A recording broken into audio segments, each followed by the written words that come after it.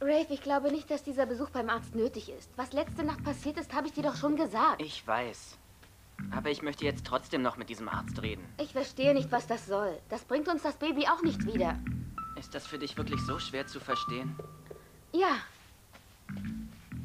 Lisa, ich fühle mich einfach schuldig an der Fehlgeburt.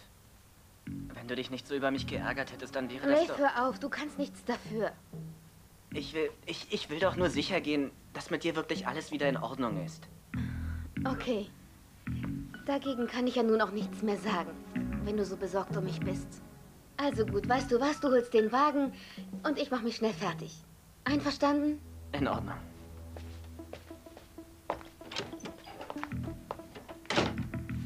Rich. Ich rufe Rich an. Der kann mir ganz sicher sagen, was ich tun soll.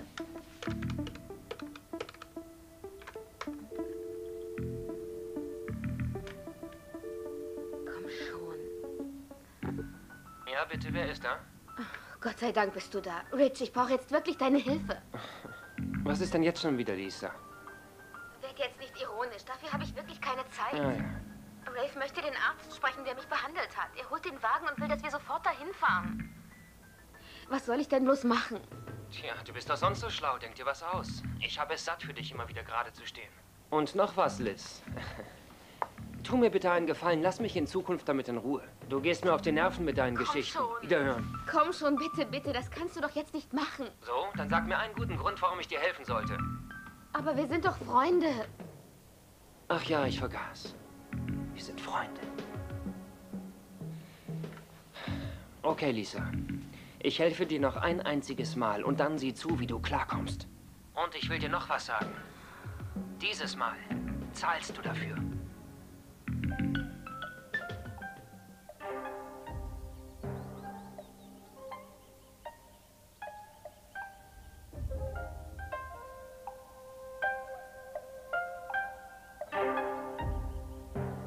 Ja.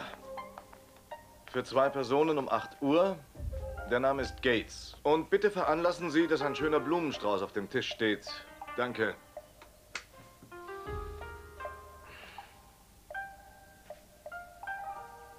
Wieso habe ich denn jetzt eigentlich diese Blumen bestellt? Was soll das? Skylar, Oh, ich habe Sie unterbrochen, nicht wahr? oh nein, nein, kommen Sie rein, Jody. Bitte entschuldigen Sie, dass ich so unangemeldet hier erscheine. Das ist kein Problem. Was ist los mit Ihnen? Ist irgendwas passiert? es ist wegen BJ. Ich mache mir solche Sorgen um Sie.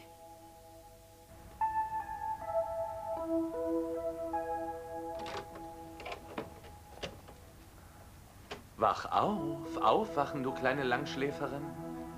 Hallo? Wir sind doch nicht nach San Francisco gefahren, damit du den Tag verschläfst. Wie spät ist es? Es ist schon fast zwölf. Soll das ein Witz sein? Nein? Ich weiß nicht, wann ich das letzte Mal so lange geschlafen habe. Also, wenn sich jemand den Schlaf verdient hat, dann du. Was soll das denn?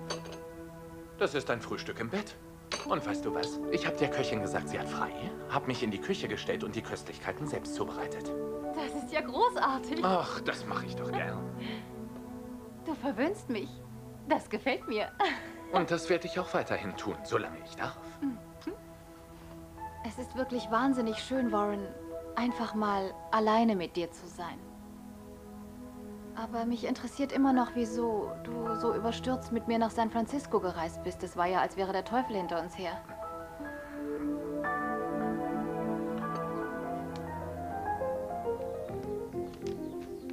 Gestern?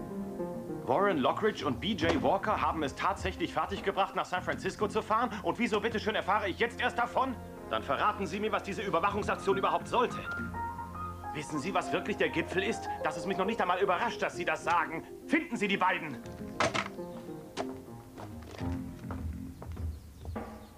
Was haben Sie in meinem Büro verloren? Haben Sie noch nicht genug angerichtet, McCabe?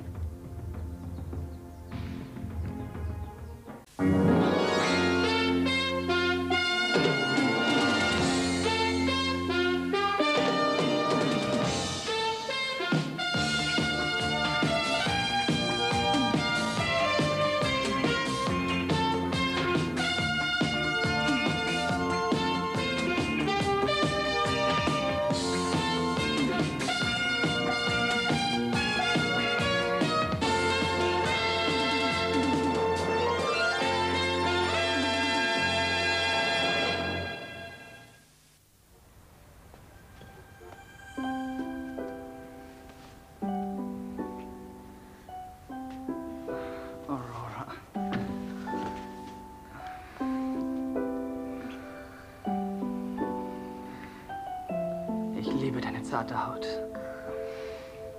Und dein wunderschönes Haar.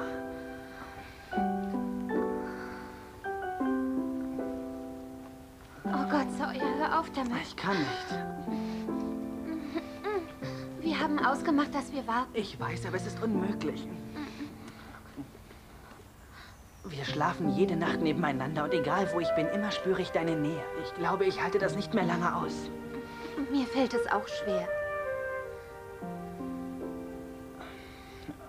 Hör zu. Komm, komm, setz dich.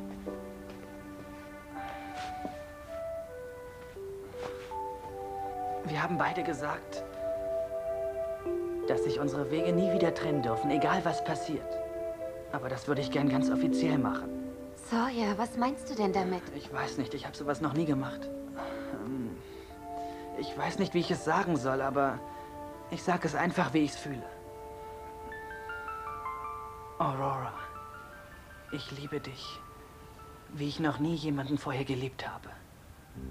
Und ich möchte dich nie wieder verlieren. Oh Gott. Wenn wir das hier endlich alles überstanden haben und wir wieder ein normales Leben führen, würdest du dann vielleicht meine Frau werden wollen? Sawyer, wieso fragst du denn sowas? Das weißt du doch. Ich, äh, ich würde es gerne hören. Sag es. Ja, ja, ich will dich heiraten.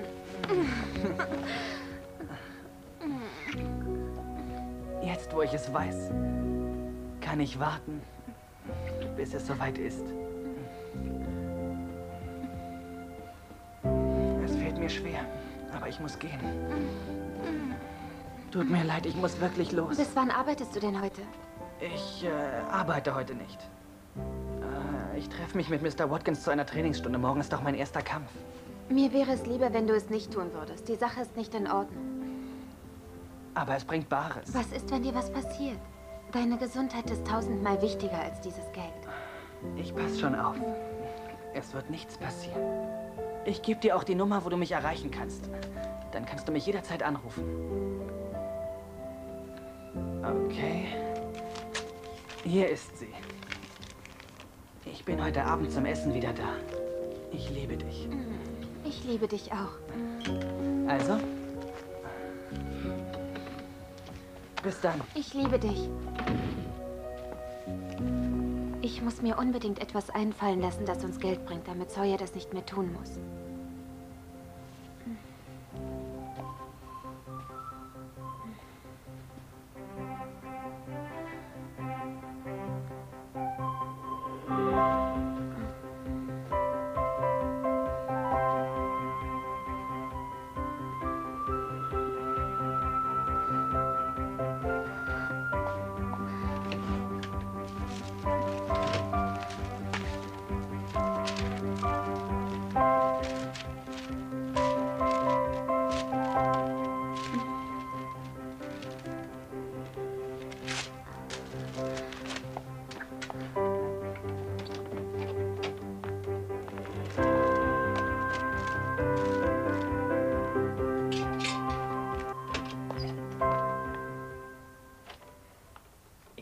Da draußen und warte auf dich. Wieso kommst du denn nicht?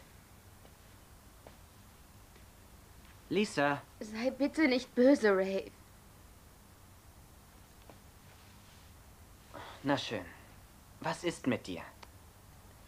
Ich dachte, wenn ich mich zusammenreiße und konzentriere, könnte ich, könnte ich nachvollziehen, was in dieser Nacht passiert ist. Aber es geht nicht. Ich weiß nicht einmal mehr, wo diese Klinik ist. Ich hatte solche Schmerzen, ich kann mich an nichts erinnern. Ich habe Rich gefragt. Er wird gleich kommen und mit uns zu diesem Arzt fahren. Rich. Rich. Was hast du denn eigentlich immer mit diesem Rich? Ich meine, ich weiß, dass er ein guter Freund von ja, dir ist. er ist ein guter Freund. Wir kennen uns schon seit vielen Jahren. Und ich wüsste gar nicht, was ich ohne ihn in dieser furchtbaren Nacht gemacht hätte. An meinen Vater konnte ich mich ja nicht wenden. Rich war der Einzige, der mir geholfen hat. Du hast recht. Du hast recht. Wir können von Glück sagen, dass du nicht alleine warst. Und dafür würde ich sogar Rich Landers höchstpersönlich meinen Dank aussprechen. wenn es sein muss.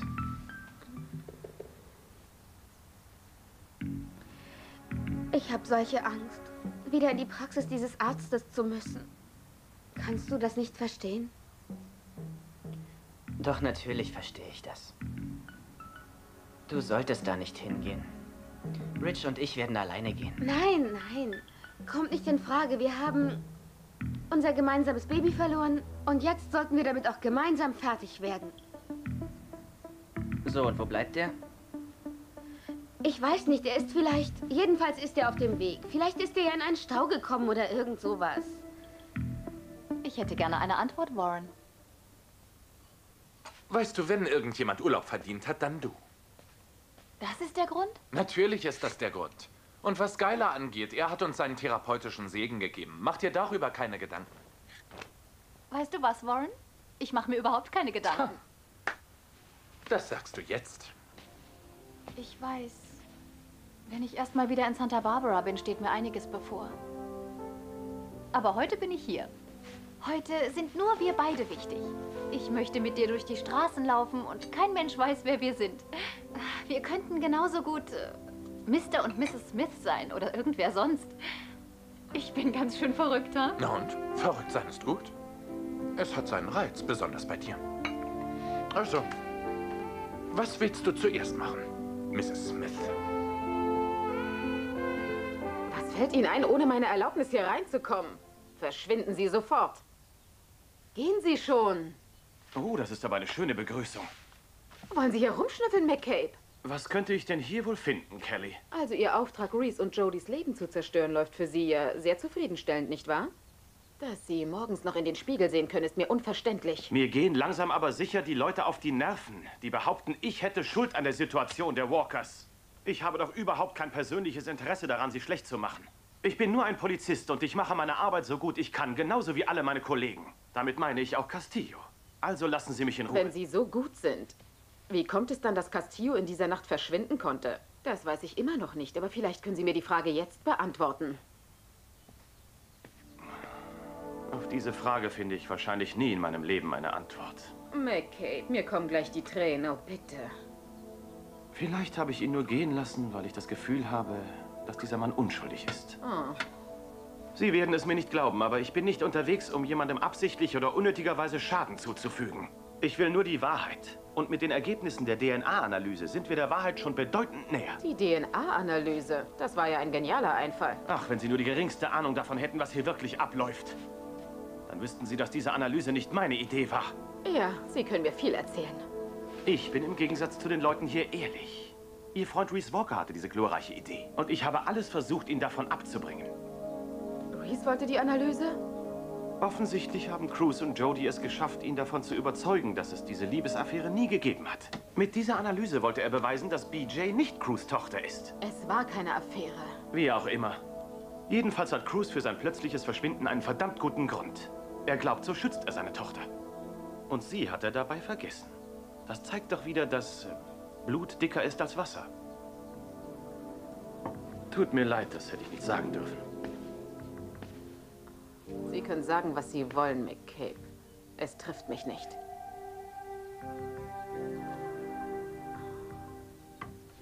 Also, was nun?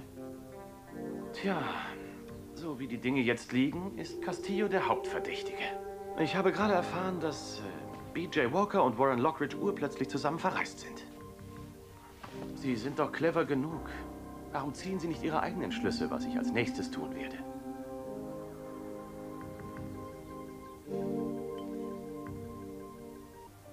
Okay, vielleicht sollten wir nicht gehen, Rafe.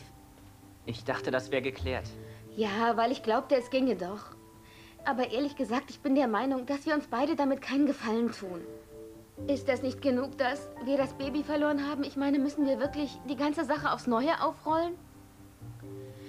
Ich finde, wir sollten jetzt Vergangenes ruhen lassen und nach vorne sehen. Solange ich nicht weiß, warum wir das Baby verloren haben, werde ich niemals zur Ruhe kommen können. Du kannst also bleiben, wenn du willst, oder mitkommen. Aber ich gehe dahin. Na, endlich. Na, das hat aber lange gedauert. Begrüßt man so seinen besten Freund? Rave, ähm, also ich, ich habe gerade herausgefunden, dass Dr. Cook jetzt in Urlaub ist.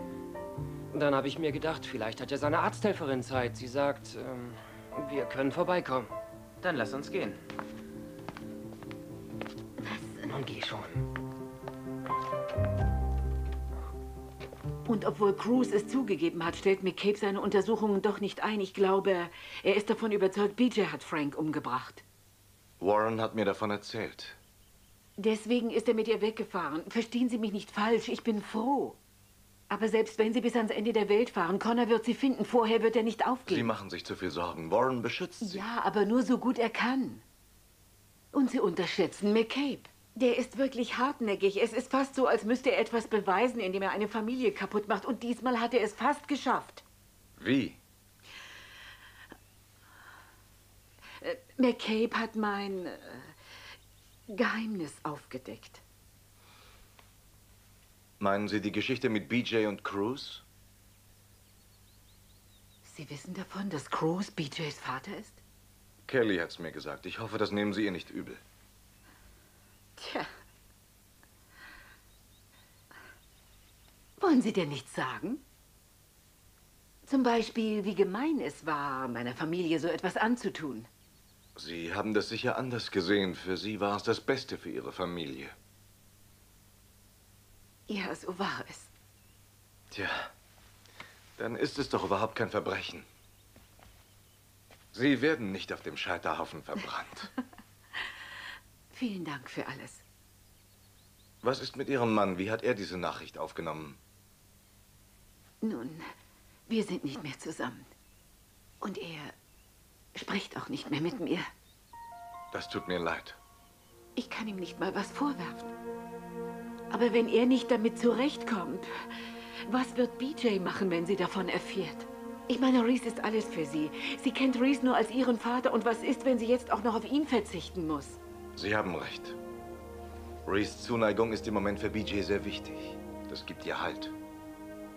Ich glaube, die Stabilität dieser Beziehung hat BJ bisher immer geholfen, mit all ihren Problemen fertig zu werden. Dann darf sie es nicht herausfinden, nicht jetzt. Ich meine, oder wäre das verkehrt? Nein. BJ wird zu gegebener Zeit auch damit fertig werden. Aber im Moment sucht sie einfach Luft zum Atmen. Sie sollten ihr etwas Zeit geben. Je mehr Zeit sie hat, desto besser. Aber vielleicht hat sie überhaupt nicht die Zeit dazu. Nicht, wenn Connor McCabe sie zuerst findet. Dazu darf es nicht kommen, Skylar. Nochmals vielen Dank für Ihren freundlichen Besuch. Es tut mir so leid, dass Sie schon gehen müssen. In Ordnung. Werfen Sie mich raus, das ist eine gute Art, mit Problemen umzugehen. Aber ich warne Sie. Wenn sich die Fakten verdichten, kann es unter Umständen sehr schnell gehen. Welche Fakten? Die Staatsanwaltschaft wird sich vielleicht dafür interessieren, dass Sie und Cruz für diesen Mordfall wichtiges Beweismaterial vorsätzlich vernichtet haben. Sie werden vorgeladen und befragt. Sie stehen unter Eid. Und wenn Sie lügen, dazu muss ich ja wohl nichts weiter sagen. Nein, nicht nötig. Mein Gott, sind Sie verbohrt. Haben Sie ein Problem mit meinem Charakter, McCabe? Sie wissen, wo die Tür ist. Ich weiß, was in Ihnen vorgeht, Kelly. Sie decken die Tochter des Mannes, für den Sie aus Liebe durch die Hölle gehen würden. Aber Sie sollten aufwachen.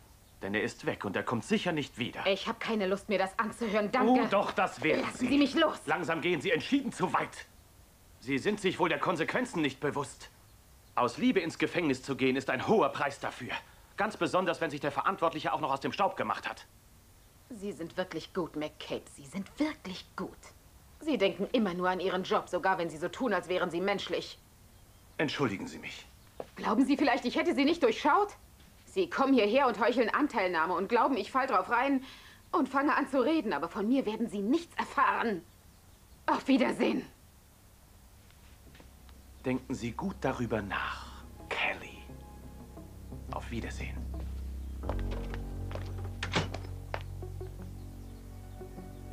Oh Gott.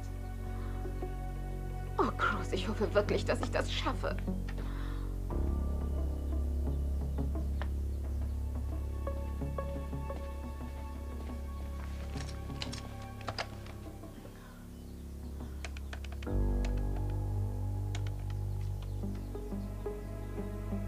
Raphael. Hallo. Es tut mir leid, dass ich dich störe, aber hast du etwas gehört? Ich weiß. Danke, ich weiß. Bis dann. Cruz, oh Gott, Cruz.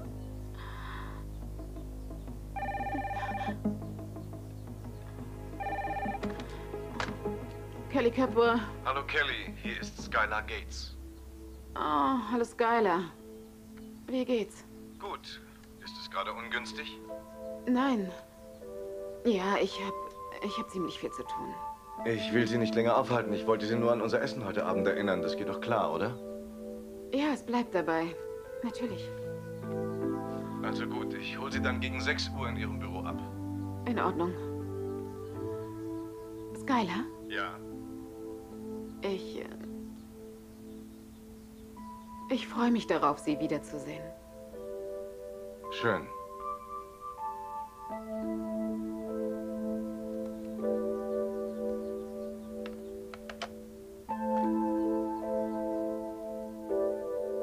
Ich freue mich auch, dich wiederzusehen, Kelly Capwell.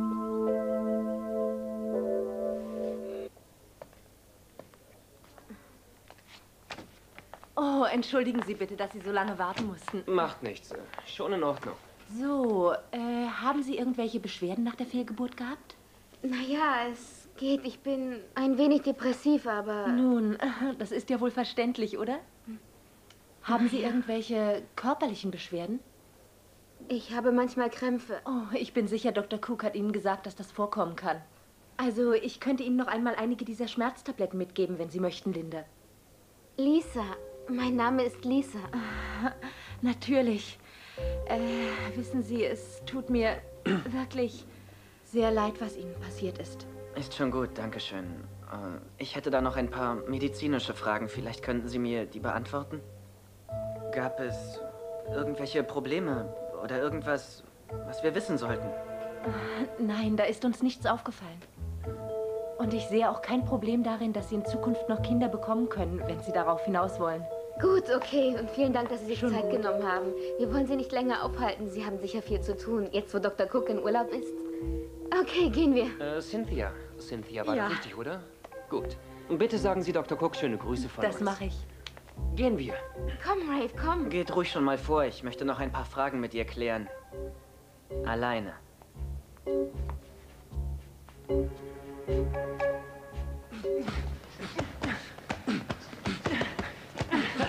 Ja, das ist gut so. Sehr gut. Ja, das ist gut. Und die Deckung nicht vergessen. Gut so. Ja, sehr schön. Und die linke. Ja, gut, sehr gut. Es reicht jetzt. Es reicht genug. Puh, ich bin beeindruckt, Junge. Das wird ein großartiger Kampf werden. Warte nur, bis du die Werbung siehst, die ich angeleiert habe. Welche Werbung? Ja, auf den Kampf wurden viele Wetten abgeschlossen, Junge. Was denkst du denn?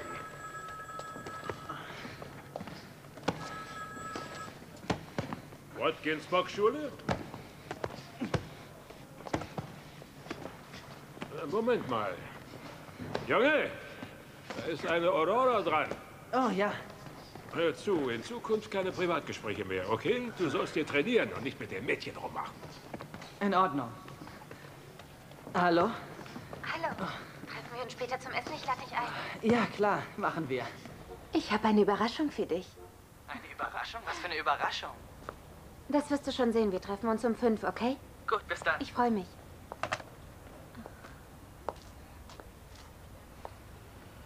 Sind Sie Marianne? Oh nein, Aurora.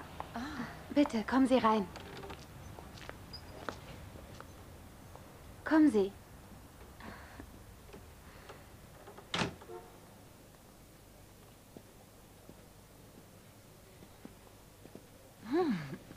Nicht übel.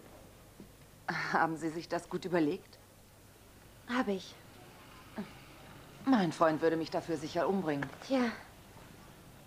Aber wir brauchen das Geld. Naja, ich will es Ihnen auch nicht ausreden. Immerhin ist das Ihre Sache, oder? Aber Sie müssen mir vorher etwas unterschreiben. Oh, ähm, kein Problem. Gut.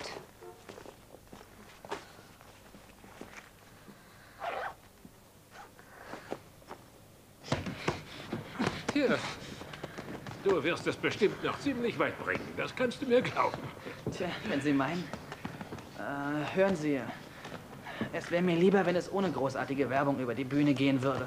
Ach, vergiss es, Junge. Die Werbung ist das Wichtigste überhaupt. Wie soll ich denn mein Geld verdienen? Ja, mach dir keine Gedanken darüber. Du hast ja nur eins zu merken. Ob du gewinnen oder verlieren sollst. Verlieren? Ja. Ich bin nicht hier, um zu verlieren, Mr. Watkins. Junge, das habe ich zu bestimmen. Verstehe. In diesem Fall müssen Sie sich nach einem anderen umsehen. Ich bin nicht interessiert. Hey, das glaube ich aber doch. Und die Werbung wird dir auch nichts ausmachen, da bin ich sicher. Weil du noch nicht weißt, wie gut du auf diesen Postern aussiehst. Hey, weißt du was? Ich glaube, das hier wird sich mit Sicherheit sehr gut auf dem Poster machen. Oh ja. Was hältst du davon?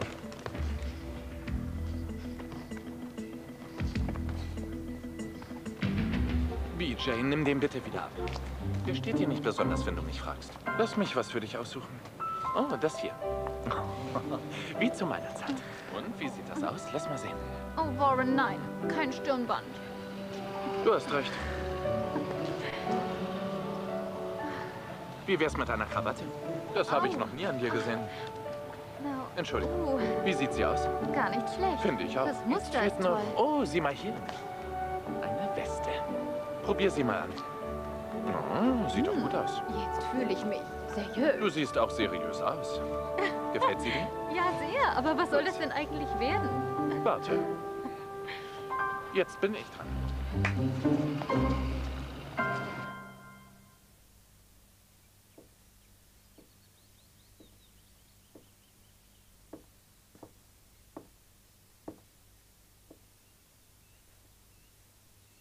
Was wollen Sie denn, McCabe?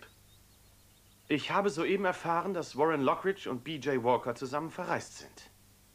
Ich dachte, vielleicht können Sie mir etwas darüber sagen. Nein, da kann ich. Ihnen nicht helfen. Also, ich möchte Sie nicht dazu zwingen, das Vertrauen Ihrer Patienten zu missbrauchen. Aber gesetzt den Fall, dass Sie BJ helfen wollen, sagen Sie mir, wo sie ist. Meine Patientin ist im Moment nicht sehr belastbar, McCabe. Vielleicht sollten Sie sich bewusst machen, dass sie das Opfer ist. Der Verbrecher ist tot. Tja, und jetzt bin ich dran. Sie sollten dankbar sein, dass ich den Fall bearbeite, statt mir Steine in den Weg zu legen. Wirklich? Wieso Ich das? bin kein gefühlloser Amtsschimmel, falls Sie das denken. Das, was ich hier machen muss, mache ich auch nicht gern. Ich behandle die Betroffenen mit Respekt und so viel Einfühlungsvermögen, wie mein Job erlaubt. Glauben Sie mir, wenn ich nicht hier wäre, dann wäre es jemand anderes. Vorsicht, McCabe, mir scheint, Sie werden sensibel. Vielleicht könnte das, was wir besprechen, unter die ärztliche Schweigepflicht fallen. Dr. Gates, Sie können mich unterstützen, Sie können es aber auch lassen. Aber früher oder später finde ich BJ Walker auf jeden Fall.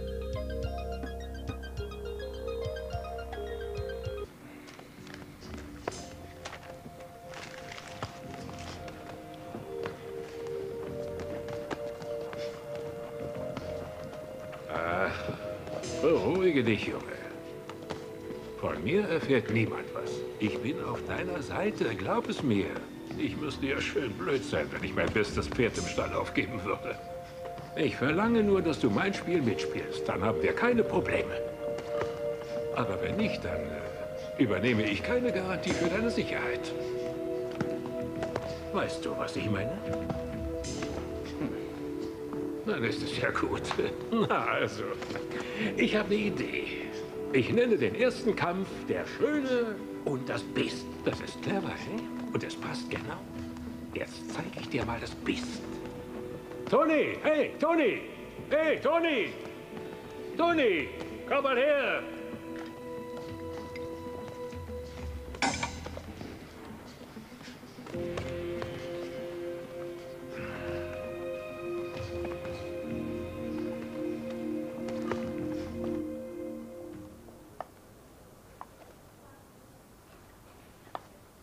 Glaubst du, warum er jetzt noch alleine mit ihr reden muss? Das weiß ich doch nicht. Sie macht das schon. Na, schönen Dank. Wenn sie das genauso gut macht wie vorhin mit meinem Namen. Hör zu, sie verdient sich dabei eine Stange Geld, okay? Und zwar mein Geld, weil du ja keines hast. Und wenn ich sage, sie macht das, dann wird es auch so sein. Na schön. Rich, ich weiß gar nicht, wie ich dir danken soll, dass du das für mich machst. Ich muss wirklich sagen, in solchen Dingen macht dir keiner was vor. Ich bin dir was schuldig. Was? Was denn? Ich habe jetzt genug davon. Verstehst du? Ich habe jetzt wirklich genug. Und ich dachte, wir wären Partner. Wir waren Partner. Bis du dich in diesen Blödmann verliebt hast. Ich habe nicht gesagt, dass ich in ihn verliebt bin. Sehe ich eigentlich aus wie ein Idiot?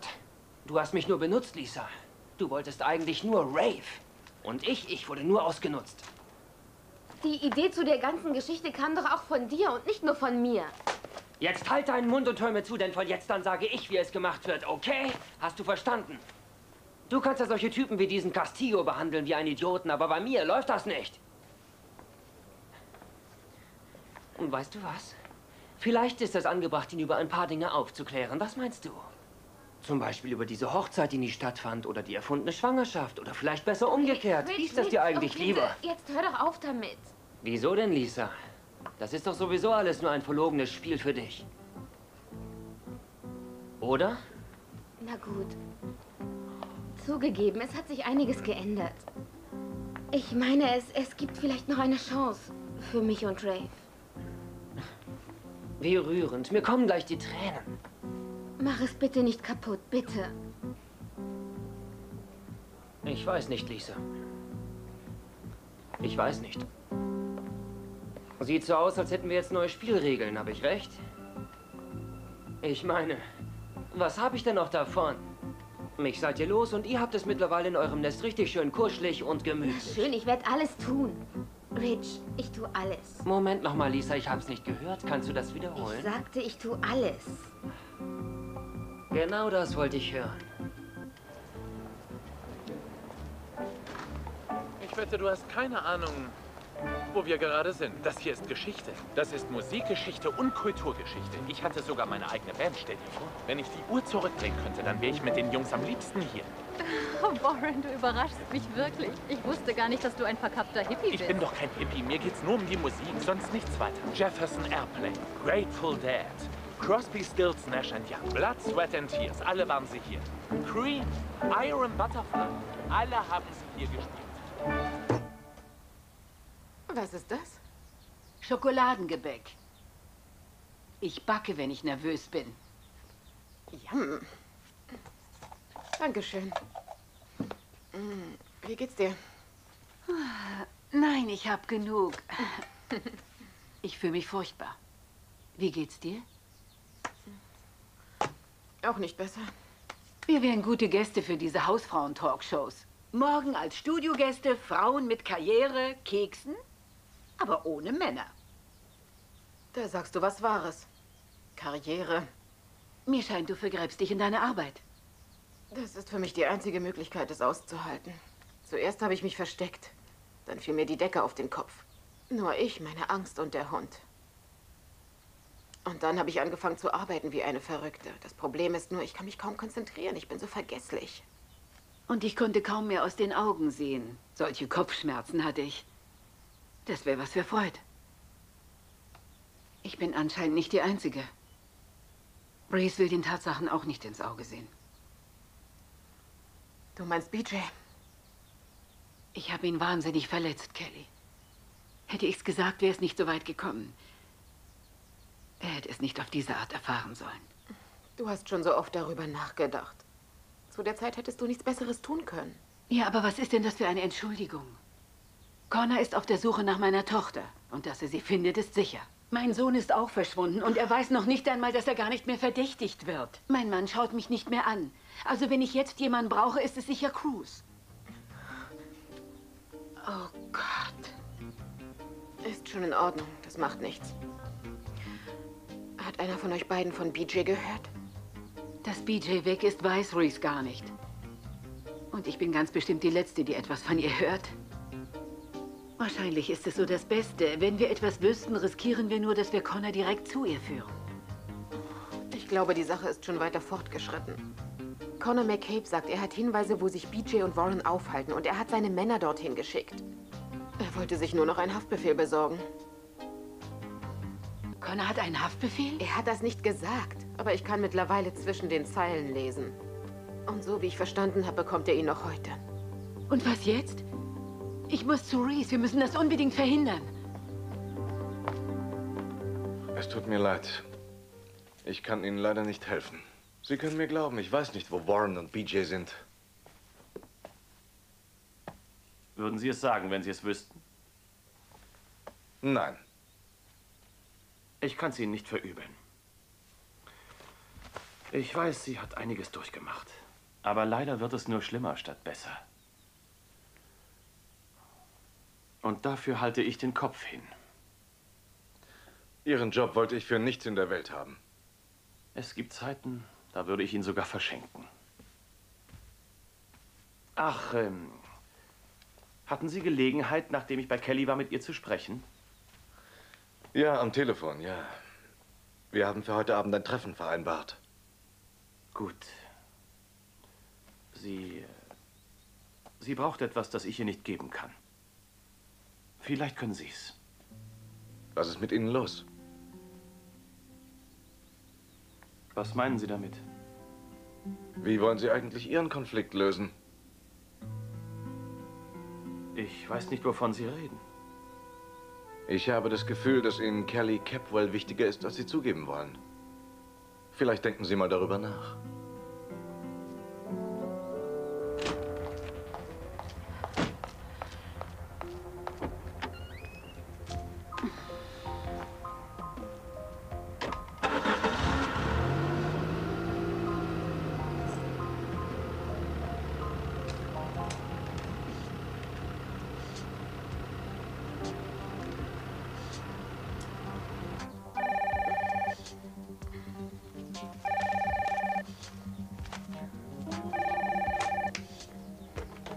Kelly Kipper? Kelly, es tut mir leid, dich schon wieder zu belästigen, aber du kennst doch Ries. Ich meine, er, er wird nicht mit mir reden, wenn ich alleine komme. Komm doch bitte mit. Jody, du musst nur vernünftig mit ihm reden. Er wird dir zuhören. Es geht schließlich um BJ. Hör zu, darüber brauchen wir uns nicht zu unterhalten. Wenn du es nicht für mich machst, dann mach es für BJ. Du weißt, Cruz würde es auch wollen. Wo bist du? Ich bin in der Tiefgarage. Ich bin in fünf Minuten da. Ich fahre hoch an die Treppe. Schnell, Kelly.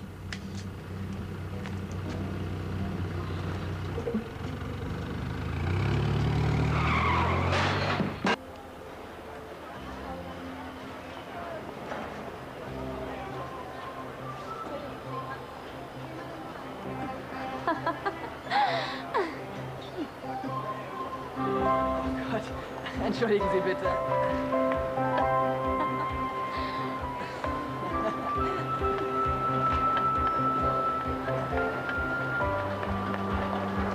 Nicht glauben, deine Haare. Was hast du damit gemacht? Sei ehrlich, wie findest du es? Komm, setzen wir uns erstmal irgendwo hin. Bist du böse? Nein, bin ich nicht. Oh mein Gott, du bist wunderschön.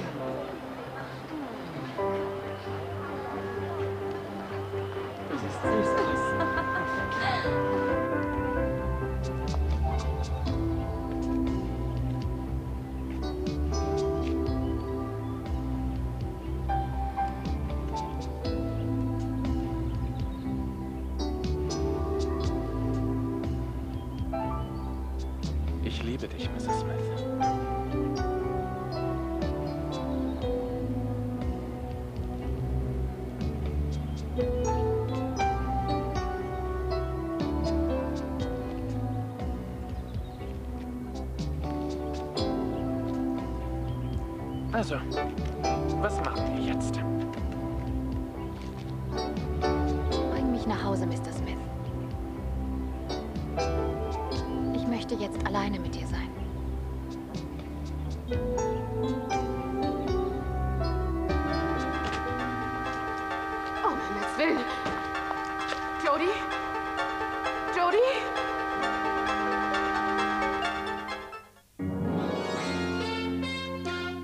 Mag guten Sex, aber wer mag das nicht? Nur Uwe mag es eigentlich ganz normal, sehr entspannt, romantisch und sehr zärtlich. Ganz im Gegensatz zu unserem Pärchen Enzo und Yvonne. Die beiden stehen auf Sadomaso, Lack und Leder. Unser Thema heute, ich liebe ganz normalen Sex. Bin ich eigentlich krank?